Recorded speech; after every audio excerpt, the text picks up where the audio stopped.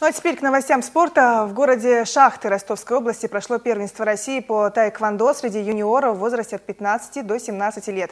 Команда Дагестана завоевала одну серебряную медаль и три бронзовые.